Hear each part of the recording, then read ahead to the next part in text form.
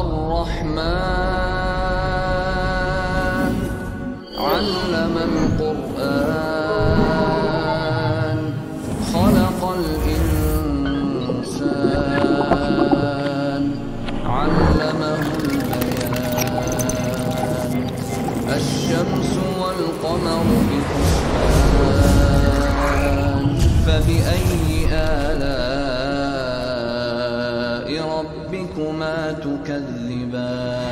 Water is considered the most vital ingredient for life, and it's almost always the first thing we search for when considering other worlds. So, why is water so essential? Well, it's important for a few reasons. Water basically acts as a lubricant to facilitate all the complex molecular chemistry that occurs on Earth. It's also considered a universal solvent, and crucially, liquid water can transport nutrients from one place to another as well as acting as a cleaning fluid.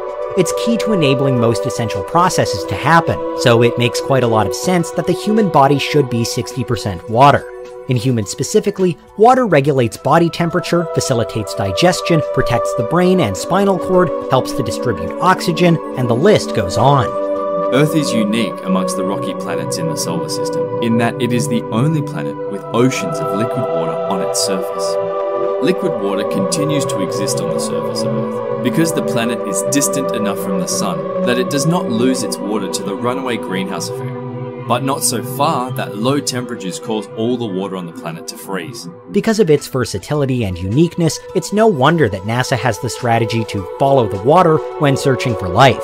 It's why determining a given planet's climate is also so crucial to see whether that planet experiences the right range of temperatures for liquid water to exist.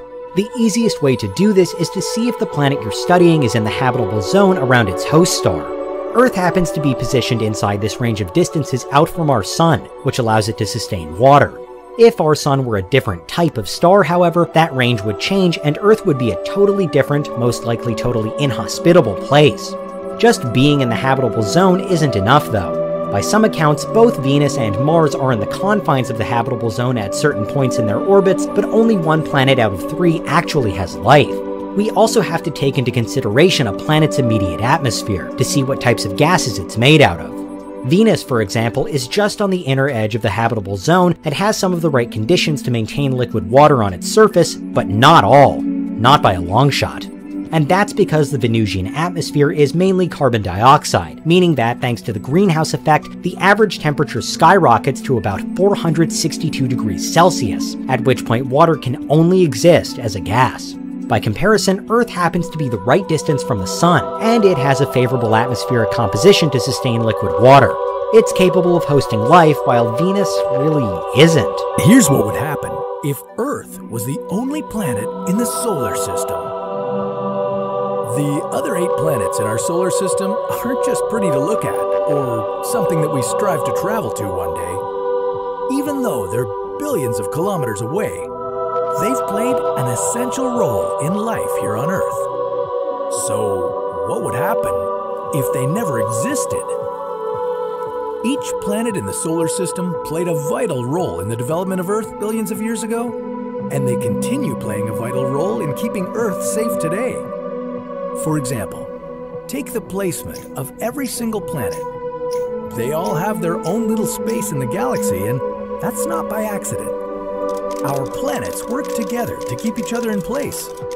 For example, if Mercury and Venus cease to exist, Earth might drift closer to the Sun. And if Jupiter or Saturn disappeared, instead of getting closer to the Sun, the Earth might drift further away from it. This would cause a number of issues for us Earthlings. Right now, we're lucky enough to live in what scientists call the Goldilocks zone. They call it that because Earth sits in the range of orbits around the Sun that are just right to sustain life. If Earth were to move closer to the Sun, it would get a little bit hot. We might burn to a crisp. The farther away we get, the more the temperature would drop, Earth would be too cold to sustain life.